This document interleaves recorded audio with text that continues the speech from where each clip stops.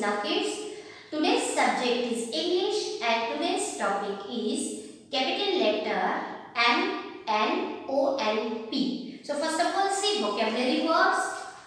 M for mango, M for milk, M for mirror. Now next letter is N. N for number 9, N for nose, N for leg. And next number M, N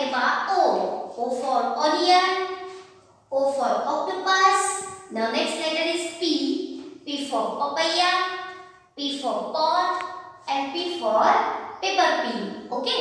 So देखिए कैसे लिखना है M N O P. First of all, touch the red line to blue line one standing line,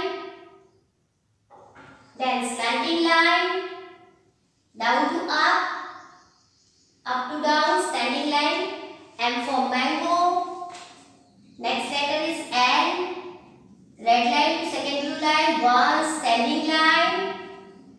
then slanting line and standing line down up. And for nip O for octopus. And P for pain. P for parrot. So once again see kids. First red line second blue line, one standing line, slanting line, down, down to up, then one standing line, M for monkey, then standing line, slanting line, and standing line, line down to up. And for nose, O for owl, and last letter is P for peacock. Peacock.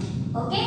So kids ये था आज का हमारा capital letter M N O और P जिसे आपको आपकी notebook में पूरा करना है।